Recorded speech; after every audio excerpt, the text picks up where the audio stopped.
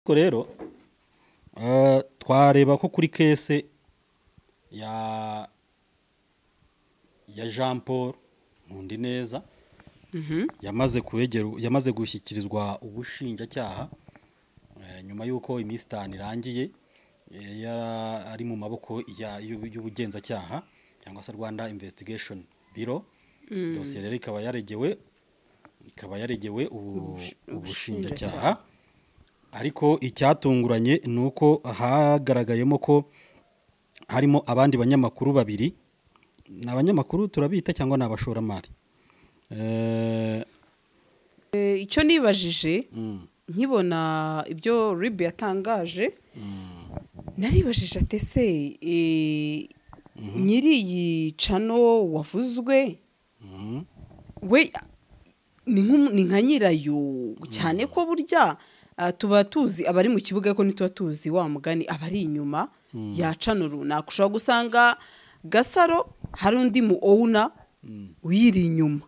Ni nk'aho ari we wabihaye wabihaye umurongo ati ntibitambuke ni muri urwo rwego rero baba na yo bamuzanyeho. Ariko ahangaha impamvu ngewe nazanye kano gatabo k'itangazamakuru kano gatabo kadufasha gusobanukirwa amahame n'amabwiriza ni uko ahangaha iki kintu kiba cyararinze ku- kugeraho kiba icyaha. Kuko niba bavuga bati eh, jean paul nkundi neza ibyaha yakoze yabikoze mu bihe bitandukanye kandi abikora abigambiriye abizi. Ni uko mu bihe byatambutse ibyo biganiro aho byatambutse niba hari n'amakosa yabayemo atambutse kuri jaras official bituma jaras cyangwa se irasubiza jire eh, nawe ahamagazwa nako akurikiranwaho iki cyaha nk'umufatanyacyaha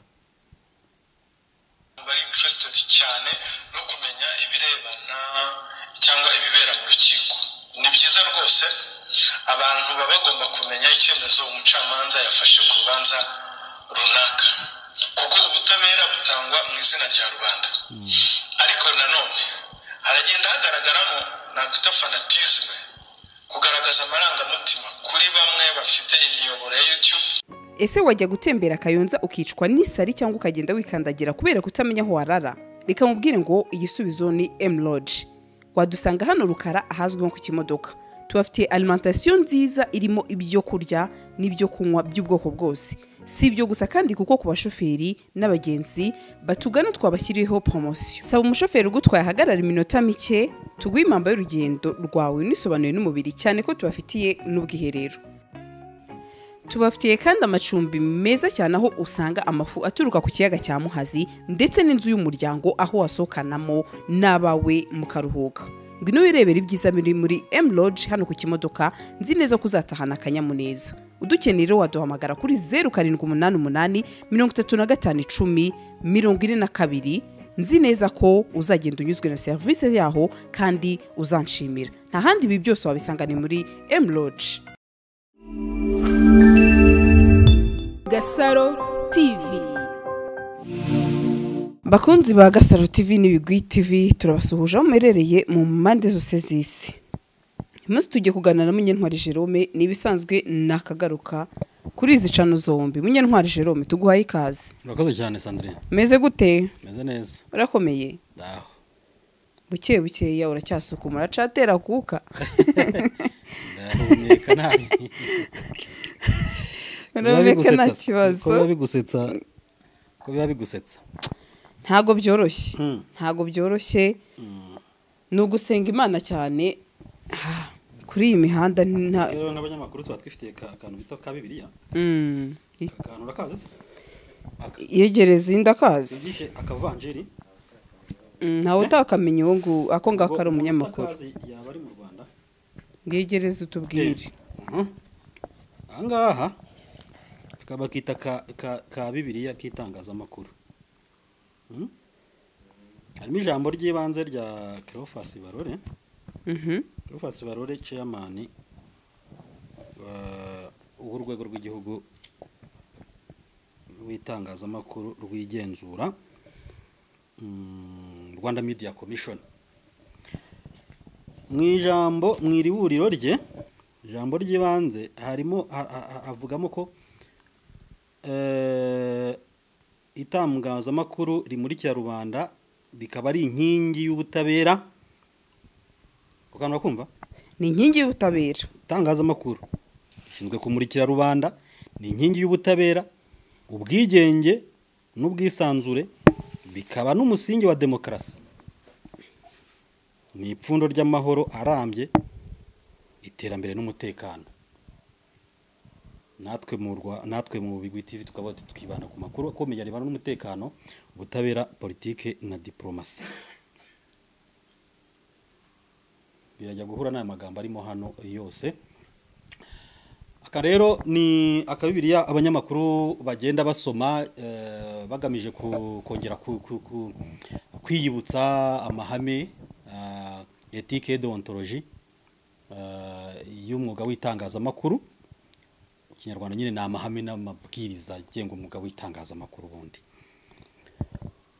Ibyo rero ni ibintu eh, buri munyamakuru aba agomba kwitwararika eh, ugasomye neza ureba uburyo ah, umwuga w'itangazamakuru ukorwa uburenganzira umunyamakuru aba afite eh, ibyo asabwa kugira ngo akore uwo mwuga w'itangazamakuru ntabwo ari byo ngiye kugarukaho cyane ariko impamvu ni uko abanyamakuru natwe ubwacu nubwo dukora uyu mwuga tuba dukwiriye kuba accountable y'ibyo dukora cyangwa se tubazwa nk'inshingano z'ibyo dukora. Niba koko tubikora mu rwego rwo kugira ngo bisavinge uh, sosiyete biyiteze imbere biyijijure haba harimo kubigisha haba harimo ku uh, ku- ku- kubemforma cyangwa se kubamenyesha amakuru haba harimo eh, ndetse no kuba no kubadagadura cyangwa se kubashyira mu myidagaduro eh, bakaruhuka mu mutwe. Yego. Tuntu se ntiwari utuzi sandrine yego. Mm. duhereye kuri utwo rero eh, twareba ko kuri kese ya ya Jean Paul Nkundi neza Mhm. yamaze kuregera yamaze gushyikirizwa ubushinjacyaha. Nyuma y'uko iminsi itanu irangiye eh, yara ari mu maboko ya- y'ubu- y'ubugenzacyaha cyangwa se Rwanda Investigation Bureau. Dosiye rero ikaba yaregewe ikaba yaregewe ubu- Ubush- ubushinjacyaha. Ariko icyatunguranye ni uko hagaragayemo ko harimo abandi banyamakuru babiri ni abanyamakuru turabita cyangwa ni abashoramari. Eh, Mm, harimo umunyamakuru. Harimo umunyamakuru umwe hakabamo ndetse n'umushoramari. Hahise humvikanamo ndikumana eric ni nyiri 3d tv uyu nguyu eh, ni nawe bita mika fashion. Abantu abantu bamuzi nka mika fashion. None 3D TV ko benshi bayizi nk'iyafata? Ababizi gutyo ntabwo ariko kuri. Ni nka kwa kundi. Ni nka kwa kundi. Nka kwa kundi twamenye ngo wenda nka Freemax TV ngo ni ya ni ya Bakti ariko ari yundi mushoramari. Mm. Eh, so ntabwo 3- 3D TV ari yafata rero. Kandi 3D TV irimo ibice bibiri irimo 3D TV Plus na 3D TV ubwayo nk'uko nguko.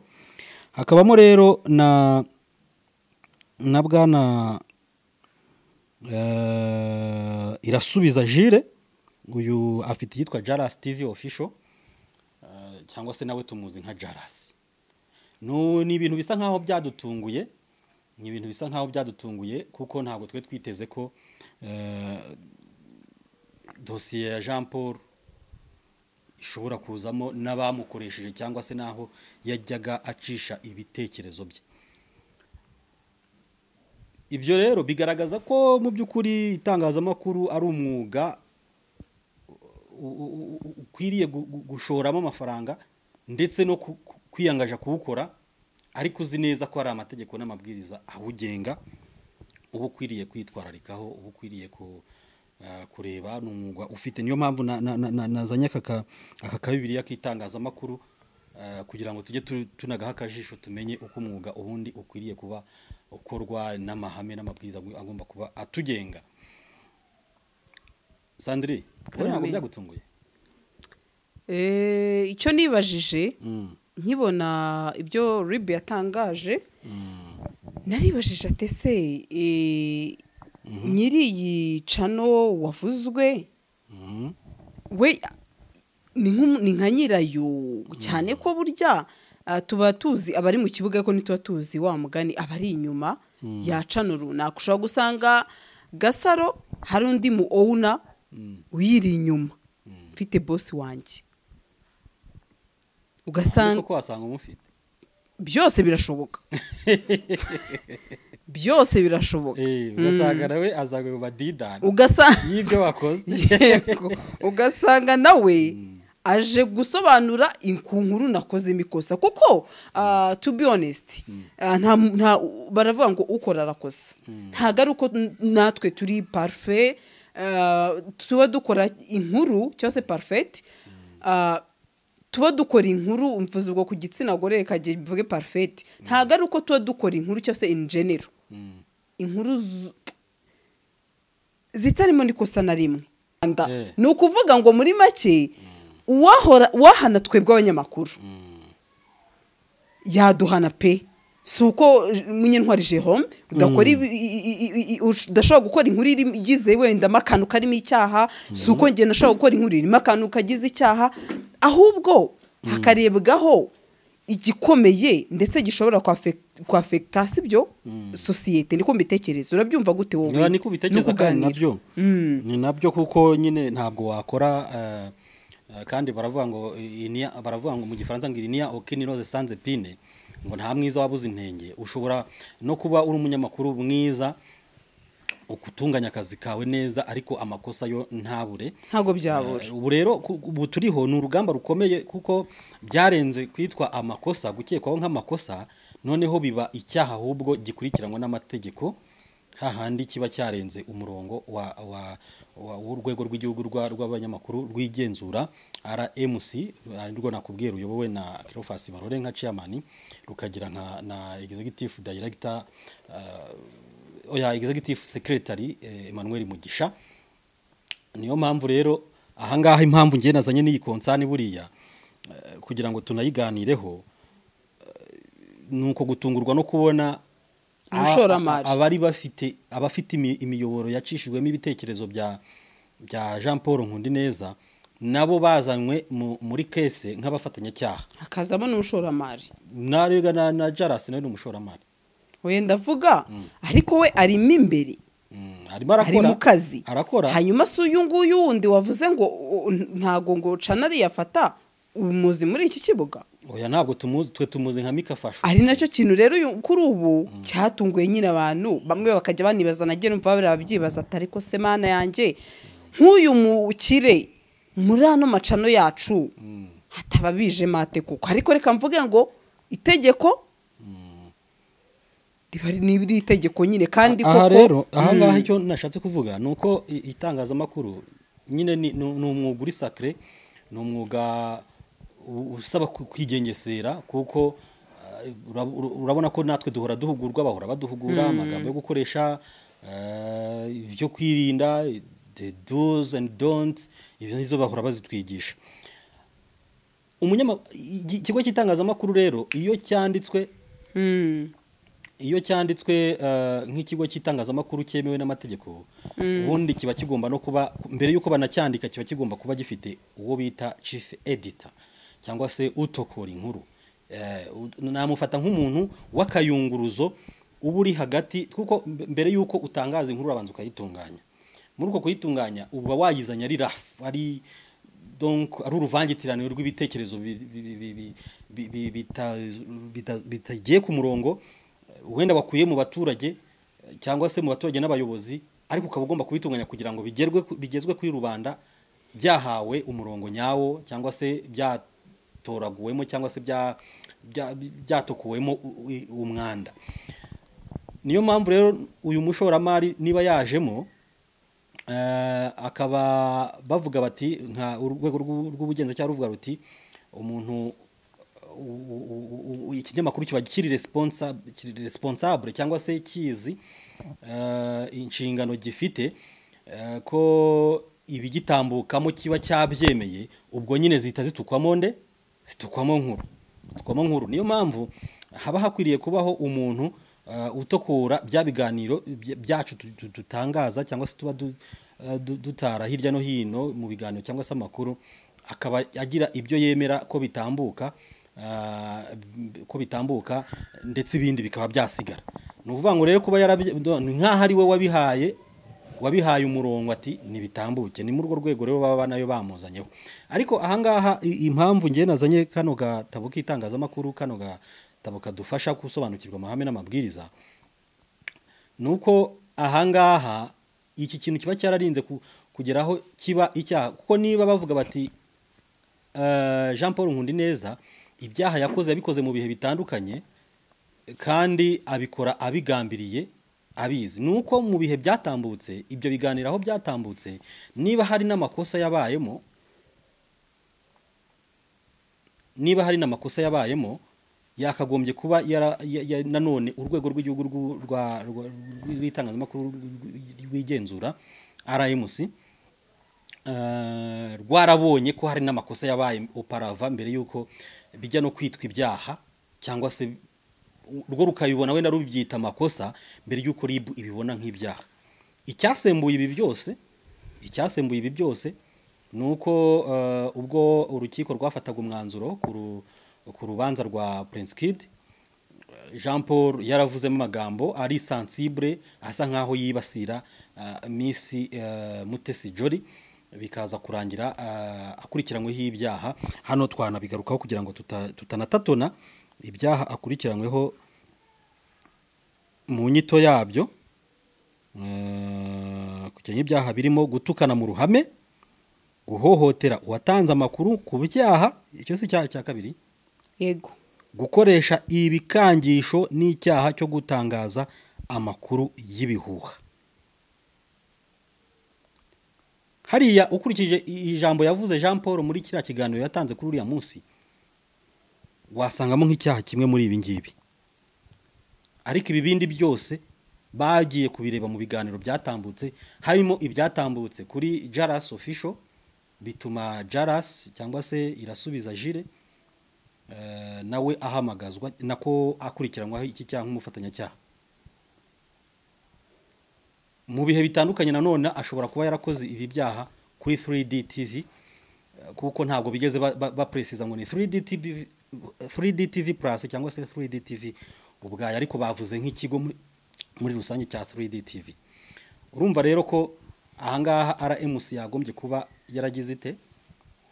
Yagombye kuba yarabonye ibi bintu ah, mbere y'uko bitangazwa. Kuko ngewe nsanga aba bantu ubwabo ari abanyamakuru eh, ari abanyamakuru ba- ba- bafite ubwabo. Urabona nka Jaras yabanje gukorera mu kigo kimwe kiri, media eh, kiri cl- classic media cyangwa se mainstream. Bivuze ngo ni umunyamakuru uzwi wemewe mu Rwanda ubifitiye n'ikarita. Ashobora kuba afite nimero yayo. Ko ntabwo yaba yaranyuze muri muri muri mainstream adafite ikarita. Harega n'abandi bose na- na- natwe twose tu- tujya tuza kuri gukorera kuri iyi miyoboro ya YouTube. Tuba turi abanyamakuru banyuze muri mainstream. Tu- dufite amategeko n'amabwiriza tugenderaho atangwa n'urwego rw'abanyamakuru rwigenzura. N'abandi ni uko na ba jean paul ni uko afite ikarita ariko ishobora kuba yararangiye cyangwa se itararangira ntawamenya gusa nge nkatekereza ko eh, hakagombye kubaho uburyo bwo kuba RMC ikanguka igacungira hafi amakosa akorwa n'abanyamakuru agakosorwa hakiri hakiri kare eh, mbere in new y'uko legs maguru mashya mbere y'uko RMC na- eh, nako RIB itangira gukurikirana mu byo yo yita ibyaha. Kuko RIB yo ikurikirana ibyaha mu gihe RMC mu gihe hari abayiregeye bagaragaje zi- zigaragaza ko abanyamakuru ba- ifite mu nshingano eh, batangaje amakuru batishimiye cyangwa se atavugwa rumwe batagizemo uruhare se hari hari ibihano twavuga byoroheje bihana amakosa iba ikwiriye gutanga nko gukuraho ikiganiro cyangwa se kukivugurura eh, ku- ku- guha ijambo se uwa uwavuzwe mu nkuru wenda akaba atarayi- atarayihawe mu mbere mbere eh, y'uko icyo kiganiro cyangwa se iyo nkuru itambuka. Ibyo ni ibintu bimwe cyangwa se ibindi RMS ibi- iba igomba kuba yaradirinze na byo mbere y'uko abantu nk'aba ngaba ba- ba- ba- ba- bakora umwuga w'itangazamakuru bashobora kugera igihe noneho ba- bakurikiranweho ibyitwa ibyaha eh, bishobora kuberekeza mu gihano gihanwa nk'ibyaha nyine mu- muri gereza. Urumva rero ko umwuga wacu ni uwo kwitondera sandrine. Ntabwo biba byoroshye wa muntu we Mm. Mm. Mm. hanyuma se jero njye hari ibibazo ah, ngiye kukubaza mbariza aba banyarwanda n'abumva ururimi tuvuga bose badukurikiye ku isi yose Eh. hari na benshi nagiye mbona babyibaza mu makomantere agiye atandukanye ate se nimba twabonye uyu witwa Eric nta n'uwo tuzi sibyo Eh. Eric uyu twi- uyu Eric ndi kubwimana. Yego. Ndi ku ndi kubwimana yego. Yego. Mm. ati none nimba uri umu- uri umubosi ufashe ibikoresho uraguze uguze cano cyangwa se um, ushatse n'abakozi Mm. rwose banakwereka ko bafite ubumenyi cyangwa se skills mu itangazamakuru. Sibyo ubona ahagije. Yego. Wowe uri hirya iyo uri nk'umucuruzi wicururiza imari runaka sibyo? Ariko uwo munyamakuru bimugizeho ingaruka.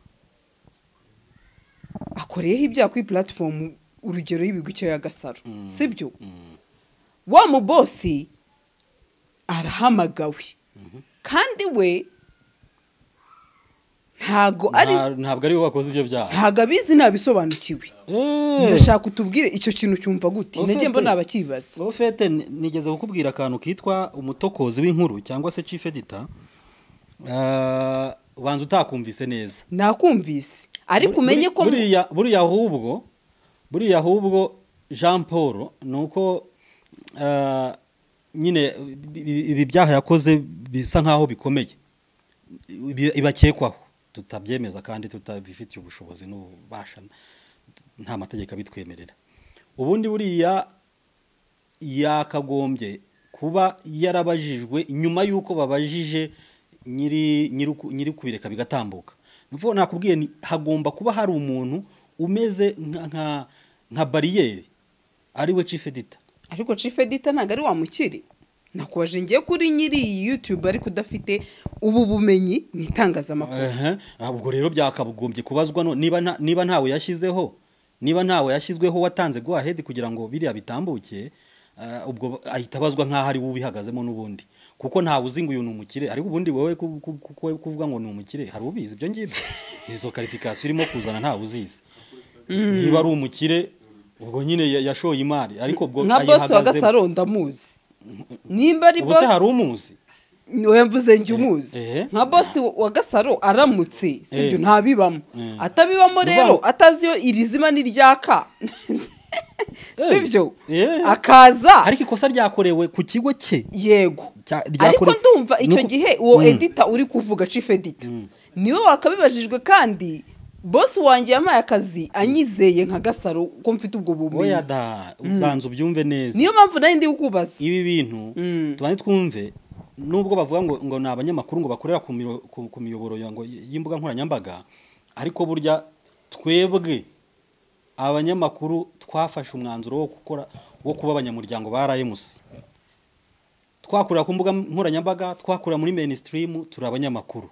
Pointre tugengwa n'amategeko n'amabwiriza agengwa agenga umwuga w'itangazamakuru. Noneho icyitwa itangazamakuru ikigo cy'itangazamakuru rero gikora mu buryo bwo kujya gutara amakuru no kuyatunganya. Kigomba kuba gifite uwitwa chief editor. Ushobora kuba icyarimwe ari nawe nyiri owner bitewe n'ubushobozi bwawe. Iyo utamushizeho ubwo nyine uba ari wowe. Urumva? Noneho jean paul wi- wibuke ubwo rero ye- edita kuri YouTube- kuri izi youtube Mm. tubaho ubwo aba ari umukameramani oya? Umukameramani mbwira urugero buretse gato w'ibiganiro. buretse gato. Eh. Uze ntumbwire wenda youtube izina runaka. Ariko umbwire youtube uzi ifite ba chief edita ngiye mbwire Ushobora kuba hari cyangwa se adahari. Oya wowe m- m- nawe urabizi uri uwo ku mihanda. Mbwira hari umucifu umuntu ikiguzi kigira kameramani na chief edita ku ruhande kuri iyi miyoboro yacu ya youtube. Nakubwiye ngo wamaze gufata umwanzuro ko ugiye gukora nk'ikigo cy'itangazamakuru.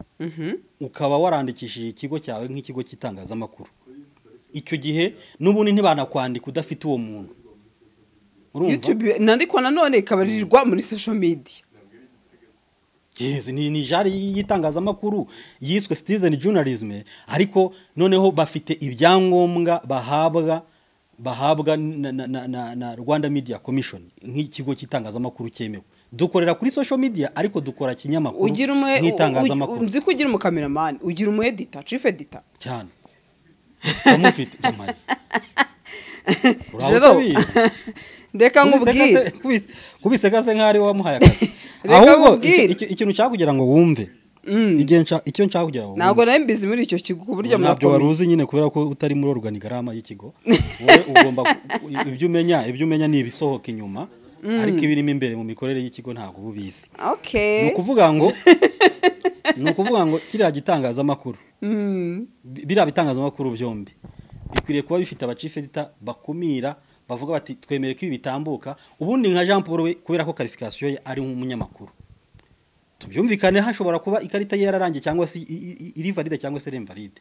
Ariko ngewe ntekereza ko mu myumvire yanjye numva ko kuba ikarita yaba valide cyangwa se yaba invalide ntabwo bi- bi- bikwambura ko uri umunyamakuru. Kuko njya mbona buriya njye mba ntekereza ndaza kugarukaho kuri ako kantu mba ntekereza ko nka RMC mu kazi kenshi igira cyangwa se gakeya ntawamenya ibikwiriye no gukora ubukangurambaga kuko ibi- ibibona abanyamakuru bose ba- ba- ba- bari muri database zayo buri ibi bafite ibibareba Ariko se buretse gato, buretse gato. ikarita igiye kurangira ushobora kwibutswa ngo ku- kuki utaza indi- uributswe ute kandi uwo mwuga ari wowe urimo kuki utaza buretse ibyo ngibyo byo rwose rmc waba unayirenganyije sibyo? Ahubwo twebwe abanyamakuru nitumenye ngo ndi muri uyu mwuga.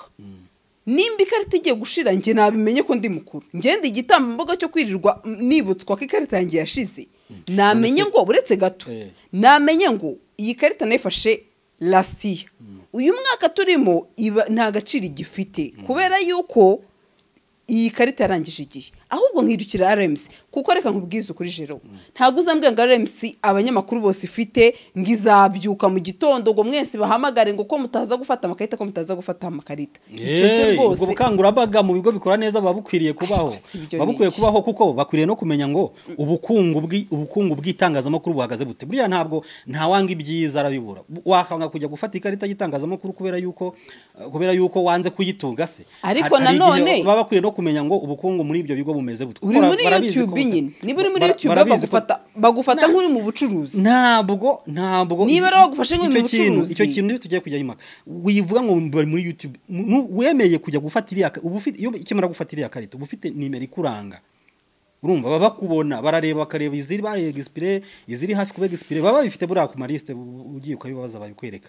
Ku buryo bashobora gukangurira umuntu ati mwaje mugafata andi makarita kubona ko ku- kudakomeza gukomeza gukora uyu mwuga ufite ikarita ijya kuba expire bigushyira muri danje kuruta uko waba uyifite. Natwe ni inshingano bukangurambaga ni inshingano zacu ariko naho ni inshingano zabo no ku- no ku- no kutwibutsa Rwose aho ngaho urabizi n'ubundi ubona iriya karita ari uko wishyuye amafaranga. Ushobora kuba utayafite bavuga ati wagize imbogamizi mukaganira nyine ukamara umwaka ibihumbi makumyabiri warabibuze jero eh wabibura cyane. Amafaranga ya wayabura uri umunyamakuru? Wayabura bitewe na ahubwo hari icyo bita negligence hari igihe twe tunegirisha abanyamakuru pe.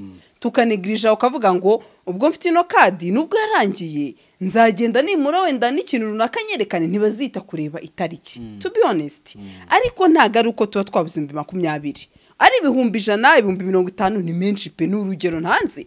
Wavuga ko ari amafaranga afatika. Ariko ntiwambwira ngo amezi atatu narashize atanu kandi uvuga ngo wenda ubwo bufaranga buke bwaje ndajya kuri banki runaka ngiye kuwufata. Sandrine none se ntiwemera ko ari abantu bakora itangazamakuru mm, tu- tu- turaziranye badahembwa n'amafaranga? Ryo kuri youtube. Ya, n'aho ariho hose na YouTube hari n'igihe bakwambura monetization. Izo mpamvu se ntabwo uzizi? Izo mpamvu ndazizi. nta YouTube uzizi zidafite monetization zi- zisaba kandi zikaba zikora hanyuma izi zifite.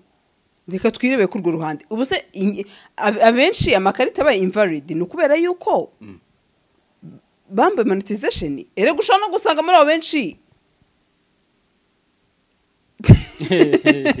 Urabikinamo harimo nyamara abonzi cyangwa se nanjye Eh, ndimo. Ni urugero. Eh. ni urugero ntanze. Eh, rero ntabwo njye nafata remusi rwose nyirimireho itaka ahubwo njye rero nkomyi ngenda ko ndaza kugaruka kuri cya kibazo ariko wageze kubaza. Munyenwa njye ndimo ndako mu rusyo nkakoma n'ingasire. Ahubwo mwebwe mukora mudafite mufite amakarita mudafite amakarita y'itangazamakuru kandi Ah. muzi neza ko mukora ibiteganywa n'itangazamakuru.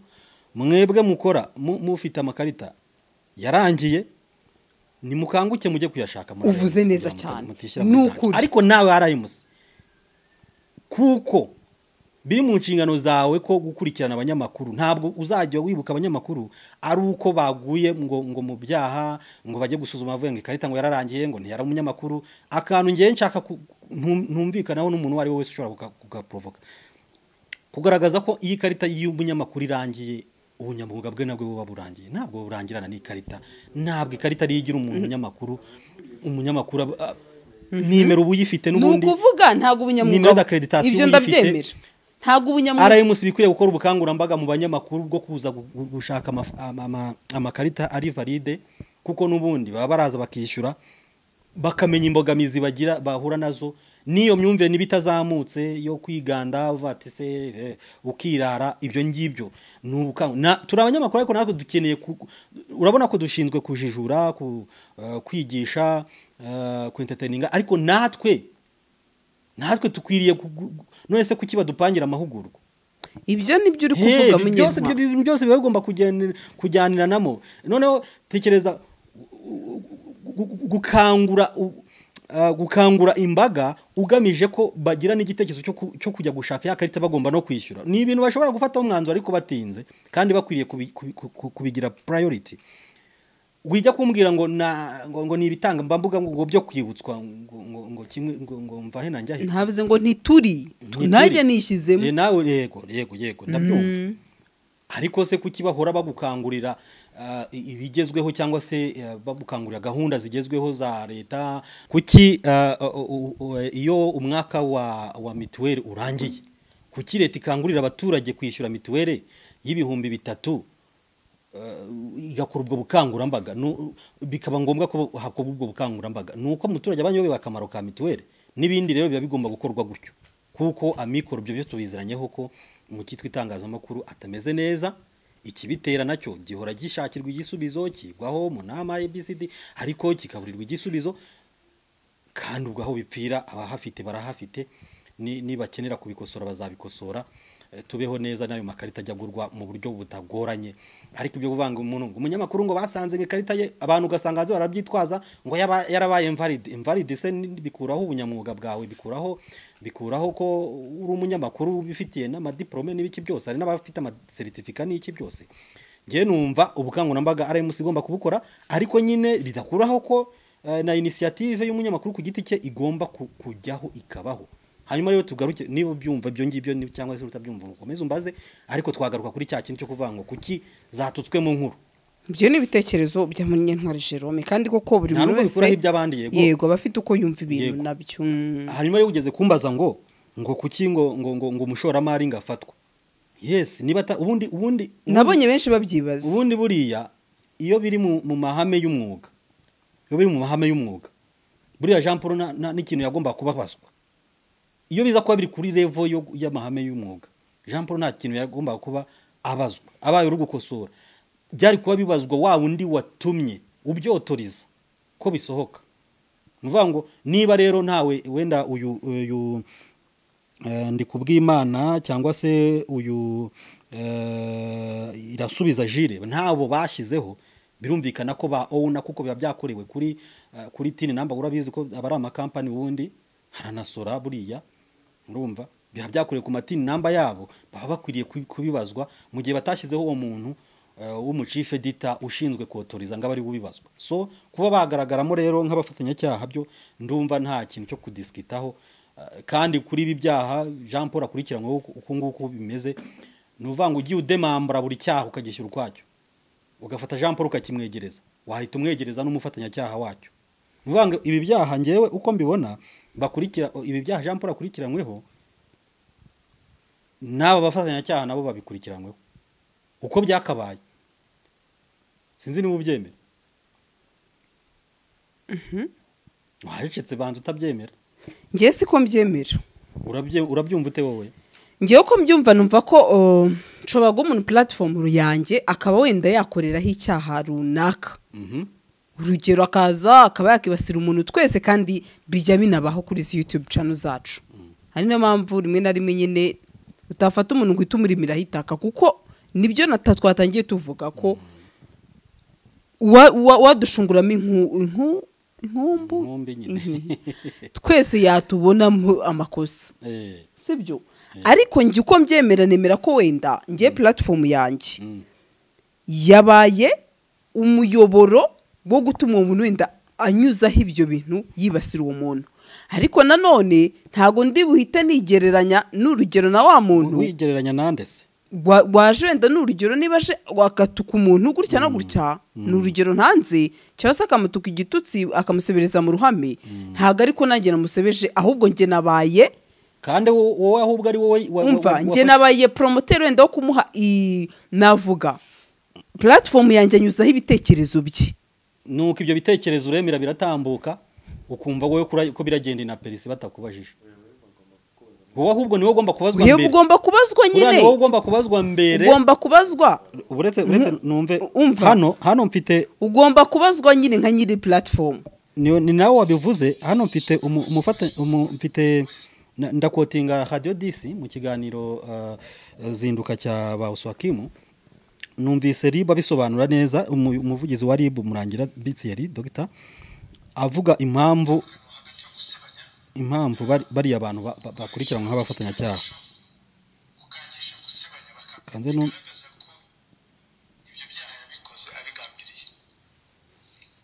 ibikorwa yakoze bihanwa n'amategeko kandi bikwiriye gutandukanywa n'amakosa y'umwuga ikindi kandi kigenda kigaragara muri ino minsi ah, haragenda muri ino minsi biragenda bigaragara muri social media ko zigenda zifashishwa hatangwa amakuru cyangwa ah, gutanga ibitekerezo.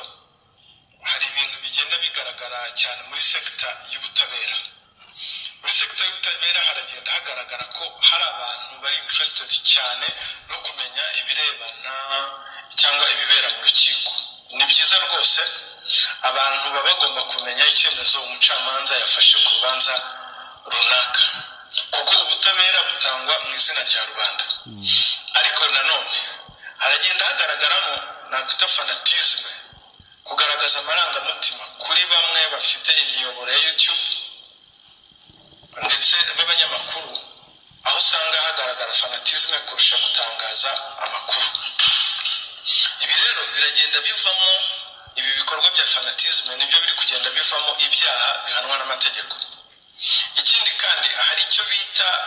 mategeko principle of subjudice. Iri ni ihame mu mategeko ribuza rubanda cyangwa abantu bose kuganira mu ruhame ku rubanza ruri mu rukiko. Ariko ibigaragara hanze aha binyuranye n'ibyo iryo hame riteganya.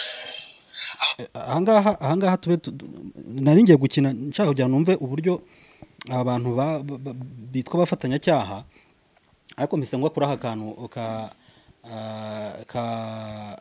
ka sabujidise niba ariko yakise sabjidisi sabujidise dusa n'abanagana ku musozo w'iki kiganiro. Tukazashaka umwe ukora muri principle rmc of subjudice kabuza abantu bose kuganira ngo ibiri kubera mu nkiko.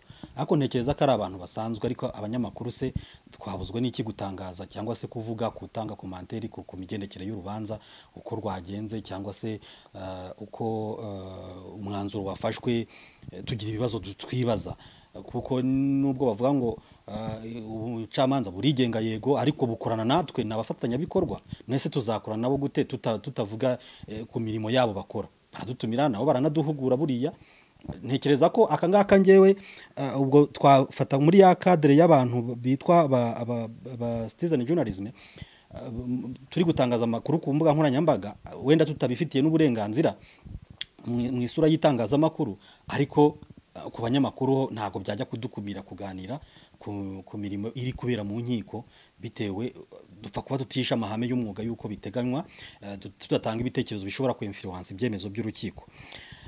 Ariko icyo ngiye kukumvisha ni uburyo nyine ah, yageze ahantu agaragaza ah, uburyo aba bantu nyine ba- bagaragaje babaye abafatanya abafatanya abafatanyacyaha bagakekwaho icyo cyaha ubufatanyacyaha nyine. Kubera ko batanze iyo miyoboro bakemeza ko ibyo eh, nk'uko biri no mu nkuru bakemeza ko ibitambuka ubwo baba bemeranya na byo eh, bitewe n'uwabitambukije niba amaze kubitambutsa ubwo bivuze ngo babyemeranyijeho ko babifashe nk'ibintu binogeye byo gutambutsa nyine nabo babifiteho conscience ko byatambutse. Niyo mpamvu rero ngewe icyo ngicyo bavuga ngo ngo ba- bazamo bate byakorewe kuri platform batanze. Numva ahubwo jean paul we ahubwo jean paul yagombye kuza ari nk'uwa kabiri. Ahubwo icyaha kikababarwa hariho. Heza ni ukubyumva nyine. Niko nkawe cyagombye buriya nibo bagombye kuza imbere ahubwo. Muri muri ariko ndabivuga mu- gihe hari amakosa noti ibyaha. Mu gihe hari amakosa y'umwuga w'itangazamakuru. Mu gihe hari amakosa y'umwuga w'itangazamakuru nibo bagombye kubazwa mbere. Jean paul akaza ari uwa kabiri ko yavuga ati ngewe narabikoze mbishyira hariya barabitunganya barabyemeza babiha go ahead biratambuka. Ngewe nta n'icyo nkwiriye kuba mbazwa. Zihita zitukwamo nkuru. Ariko iyo bibaye ibyaha nyine icyaha kiba gihita cyitwa gatozi. Okay. Ndumva rero. Mm. uko mbitekereza twazashaka kuwukora muri rmc Mhm. turamutse tugize amahirwe yo kumubona tukamubaza kuri izi ngingo jerome munyentwari ndetse n'umunyamategeko tukabasha gusobanukirwa. Ayo mwuga dukora ntabwo woroshye. Ntabwo woroshye ni ukwitonda. Ntabwo woroshye wabonye ko eh, mani na keza teogene bamufunze eh, by'agateganyo mu gihe cy'iminsi mirongo itatu. Wabonye ko eh, uriya muhungu witwa eh, egisidira nawe bavuga ko bavuga bamukekaho kwiba telefone ya debeni nawe yafunze iminsi mirongo itatu y'agateganyo. Buriya nawe yahoze ari umunyamakuru. Eh, nubwo ibi atabikoze mu izina ry'itangazamakuru nyine uku kubikekwaho ariko ubundi abamuzi bamuzi nk'umunyamakuru ariko w'umudira nyine widiringira utuntu.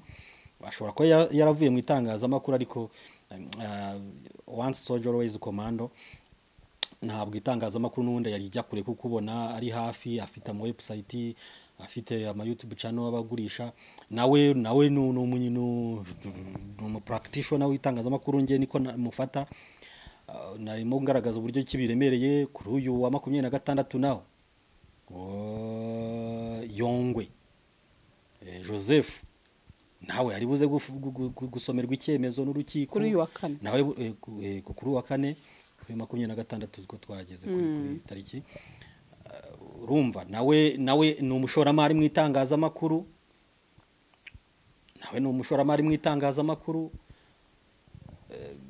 ni ukuvuga ngo ntabwo byoroshye ntabwo byoroshye biradusaba kwitwararika biradusaba ah, gukorana ukwigengesera guhagije eh, biradusaba ku- ku- kuvuga tuziga biradusaba ku- ku- kuyungurura amagambo biradusaba ko ba ban- ba ba- ba bantu twise abatokozi b'inkuru koko baba bari karume bari tayari. Umwuga baka- baka- bakawushyira ku murongo ibyo dukora ibyo dutangaza bakabiyungurura bikajya bitambuka ah, biri nta makemwa kugira ngo. Niba binagaragaye icyasha kiba kiba ikosa ry'umwuga eh, rya rindi RMC igomba gu- kuba yabonye ikaduhereza ikongera ikatu ikadukangura twitwararika ku mabwiriza n'amategeko agenga uyu mwuga w'itangazamakuru. Niyo mpamvu mfite aka gatabo. Nzajya ngasomamo buri kantu nzajya ngasomamo akantu uko ngiye gukora ikiganiro kugira ngo tugendere ngayo nguko. umurongo w'itangazamakuru. Ni ukuvuga rero umunyamakuru ukoze- ya- ikosa bibazwa nyiri youtube channel ukoze neza kandi nawe bajya bagira igihe bakabihemberwa. Mm. ndumva twanasoza munyarwanda twanasoza tubashimira cyane. Eh, ejo riraguye impaka kubwiza impaka zubaka tugize. Ntekereza ko nta n'uwo dufite eh, gukomeretsa mu biganiro tuba twatambukije Mm, tuzashaka n'abizobereyemo. Tubasobanuze. mu by'amategeko cyane cyane. Agenga umurimo agenga n'itangazamakuru muri rusange. Hmm. Urakoze cyane munyentwari jerome. Urakoze cyane sandrine. Gasaro tivi